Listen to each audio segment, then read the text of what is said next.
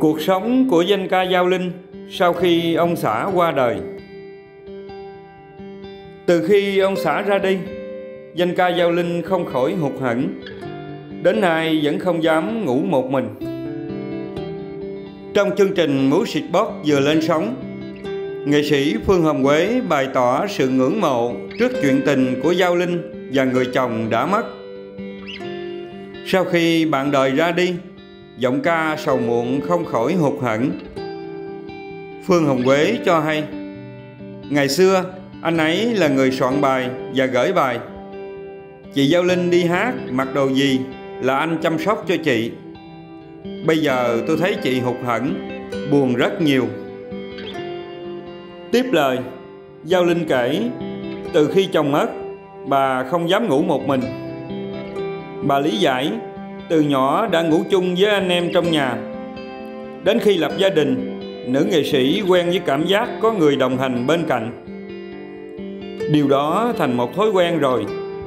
Bây giờ tôi không ngủ một mình. Cho một đứa nhỏ ở kế bên cũng được. Chứ nằm một mình làm như tâm mình không yên. Bà nói. Đồng thời, nữ danh ca thừa nhận bản thân không khỏi hụt hẫng khi người bạn đời ra đi. Trong chương trình, danh ca Giao Linh có dịp nhớ về khoảng thời gian đầu khi theo đuổi nghệ thuật. Bà tâm sự, chính nhạc sĩ Nguyễn Văn Đông là người đã giúp cuộc đời mình sang trang.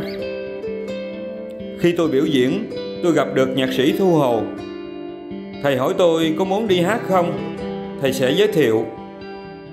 Sau đó tôi đến nhà thì thầy đưa tôi đến gặp nhạc sĩ Nguyễn Văn Đông. Và có một cuộc đời như hiện nay. Bà kể lại. Khi nói về danh xưng nữ hoàng sầu muộn, Giao Linh kể, Trước đây, thầy Nguyễn Văn Đông muốn bà phát triển ở nhiều thể loại.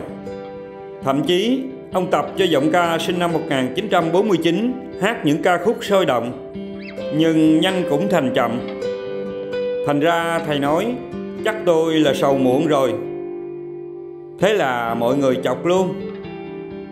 Nữ khách mời cho hay. Nhắc đến thời hoàng kim, giao linh kể, mỗi đêm bà biểu diễn ở 6 địa điểm khác nhau. Mình đi hát 6 điểm như vậy mà còn phải thu ở đài truyền hình vào buổi sáng. Hồi xưa đi liên tục như vậy mà không biết mệt mỏi. Chúng tôi hát ở các chương trình mà bài thì đâu có tập. Nhạc sĩ nhờ tôi hát để lăn xê bài. Họ đứng ở trong màn để nhắc.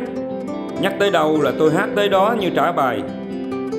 Nhưng nhờ như vậy mà tôi được tôi luyện, Có thể hát bất cứ lúc nào. Nữ danh ca nhớ lại.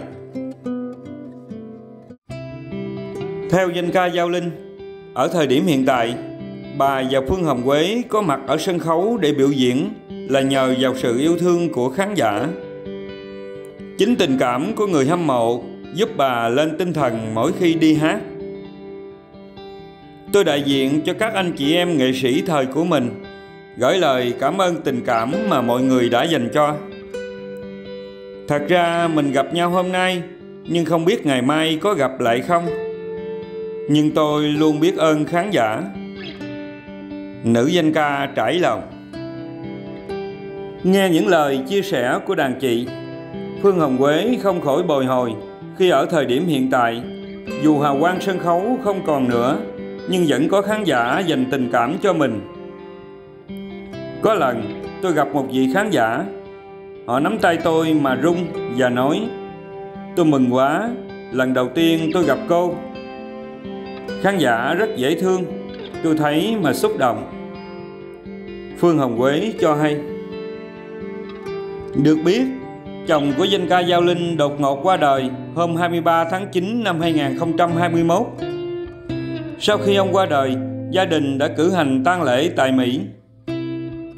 Trong tang lễ, nữ hoàng sầu muộn Giao Linh đã hát tiễn biệt chồng lần cuối, khiến khán giả không khỏi xúc động, xót xa